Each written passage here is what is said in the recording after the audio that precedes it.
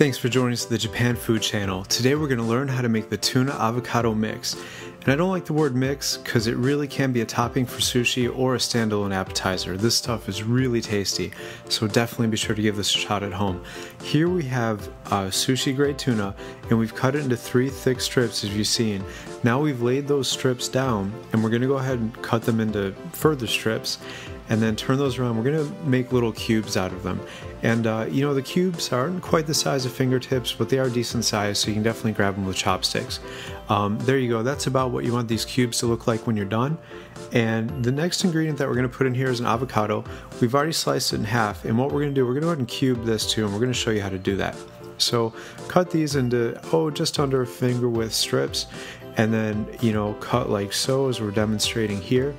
And the last cut's a little difficult, so be careful with your fingers. Uh, you know, don't want to make a mistake here. And cut it like so to get this into cubes.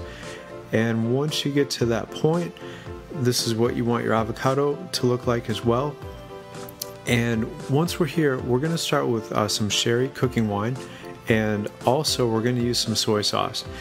And on top of these two, we're to make it sweet. We're going to go ahead and add two tablespoons of brown sugar. So let's go ahead and put the two tablespoons of brown sugar right in the bowl.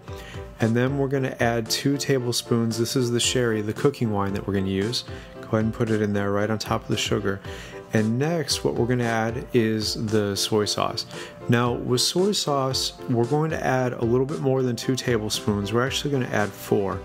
And so let's go ahead and put the four tablespoons in there.